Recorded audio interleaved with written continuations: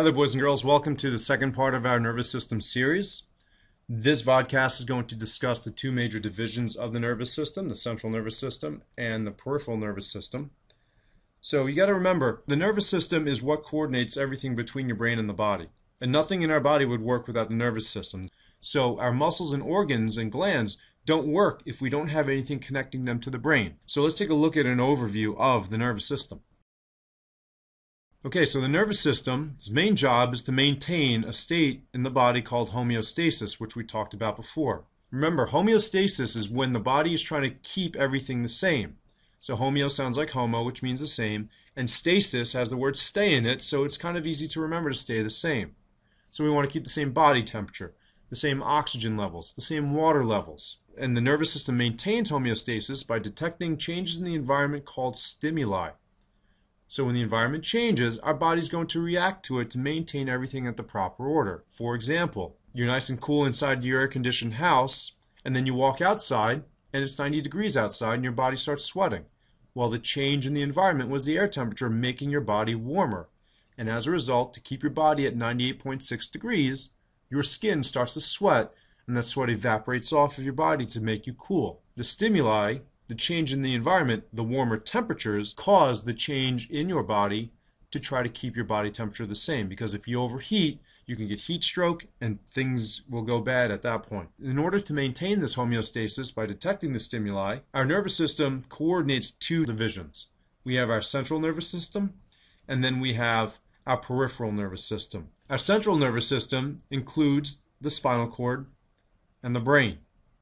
The spinal cord basically connects the brain to the body, and the brain controls everything and coordinates all the body's activities, and the brain itself is broken up into three parts. We have the cerebrum, the brainstem, and the cerebellum. Then our peripheral nervous system is made of the nerves outside of the central nervous system. So these are the nerves that run out from the spinal cord, and there are two groups of them. We have voluntary peripheral nerves, which are called somatic nerves, and then we have involuntary peripheral nerves, called autonomic nerves.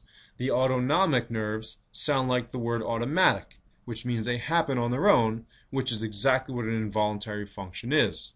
That's an easy way to remember the difference between an autonomic nerve and a somatic nerve in the peripheral nervous system. So let's take a closer look at these divisions here. Okay, so here we have a picture of the central nervous system. And the central nervous system is easy to remember because the central nervous system basically tells you where these components are found. They're found in the center of the body. So if we take a look at this picture here, you'll notice that the brain, located here, is located in the center of the body and is connected to the spinal cord that runs down the middle of your back. Now, the brain has various functions to it. If we take a closer look at the brain, we can take a look at the three parts and what they do. Your brain has the cerebrum, which is this large section of the brain at the top here. I always remember it looking like a boxing mitt and then we have the cerebellum right underneath the cerebrum, and then you have the brain stem. And the brain stem sounds exactly what it is. It looks like a stem that's attached to the brain, kind of like how a stem is attached to a flower. So in the cerebrum up top here, as you can see, it's got a lot of different functions to it. And it's actually broken up into different lobes. However, the functions of the cerebrum include sensory information. All of your senses are processed here. You walk into a house and you smell chocolate chip cookies. It's your brain that determines that it's chocolate chip cookies that you smell.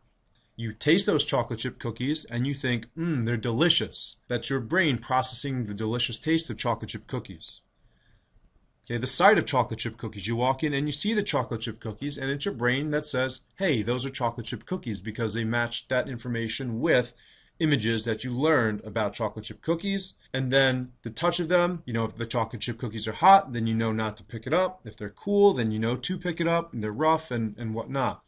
And then lastly hearing. Anything that you hear. Maybe your mother calling you to come get these brand new chocolate chip cookies. That gets all processed by the brain. So all of your senses are processed by the brain and that's what tells you what those things are now, in addition to sensory information processing, we have learning and memorization.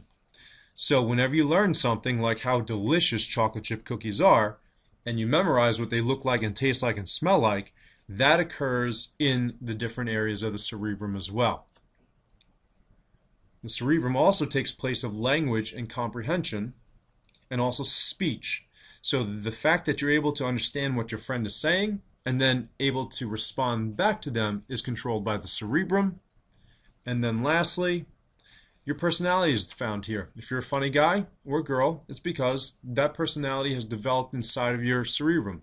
If you are an intense competitor on the athletic field, that's your cerebrum that develops that type of sense. So your cerebrum is an extremely powerful center of the brain and it has the most jobs to do. Now the cerebellum is pretty basic. It controls the balance and coordination of your movements. So if you really want to test your cerebellum, you can stand up right now out of your chair and stand on one foot. And when you stand on one foot, you'll feel the foot that is on the ground is shifting back and forth to make sure that your legs are staying balanced and that you don't fall down. That would be the cerebellum receiving information and sending information out from the brain and to the body to make sure your leg stays put so you don't fall down because you don't want to get hurt. And then lastly, we have the brain stem. The brain stem controls all of the involuntary functions that our body takes care of that we don't necessarily think about. So, as your heart is beating right now while you're watching this vodcast, that's your brain stem taking care of that. Now that you're digesting your digesting your lunch or your breakfast, that's your brainstem taking care of that digestive process and also your breathing so your body can make energy. And that again is your brainstem taking care of your breathing. So the brainstem really takes care of all the functions that we don't necessarily need to think about that are very important to us. So that's the brain and the parts of the brain and the jobs of the brain in the central nervous system. Now if we go back, the central nervous system, as we said before, includes the spinal cord, and the spinal cord acts like a relay center. Now, the spinal cord needs to relay information out to our peripheral nervous system. And this is what our peripheral nervous system looks like. Your brain comes up with a signal inside of it and sends it down. So, for example, you want to grab a book. So, obviously, you need the arm muscles in your body to get activated to grab the book and lift it up and open it up. So, your brain sends a signal down the spinal cord and then, in order to get to the arm muscles, you need connecting nerves, and that's what the peripheral nervous system does. It connects the central nervous system to the rest of your body. As we get connection to our arms, our biceps flex to pick up the book, and then the different muscles in our forearms and hands open up the book, and then we can read and start processing the information through our brain. So the peripheral nervous system is just all these different nerves that are on the outside of the spinal cord or attached to the spinal cord. That's it. That's all the peripheral nervous system is. And there's two sections to it. We have our somatic nervous system, and our somatic nervous system controls voluntary functions. So remember, when we talked about it earlier this year, voluntary functions are functions that you can control. Like, if your friend tells you a joke and you smile, that's a somatic nervous system function. If you are jumping up and down in basketball, that's a somatic nervous system function if you are walking to class. That's a somatic function, talking with your friends.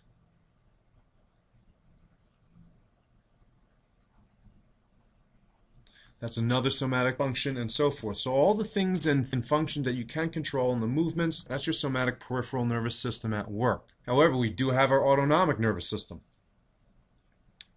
Okay, our autonomic nervous system, again, means automatic, and it controls all the involuntary functions that happen automatically that we don't think about. These functions include things such as breathing. We don't have to think about it, although we can, but for the most part, we don't think about our breathing, so it's autonomic. Our heartbeat. The reason why your heart beats all day long and we don't think about it is because the autonomic nervous system takes care of that. Digestion.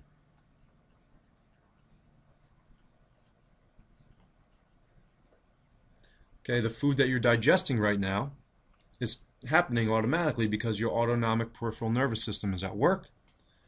And also things such as hormone release.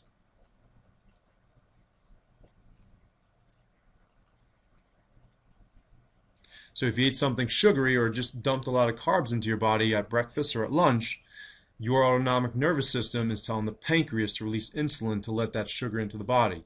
Or if you see a bear in the woods It's your autonomic nervous system that kicks in the adrenal glands to produce adrenaline and get that flowing through the blood so you can run as fast as you can and jump as high as you can and, and give you the best shot to get away from that danger. Boys and girls, those are the two major parts of the nervous system the central nervous system and the peripheral nervous system. Thank you very much.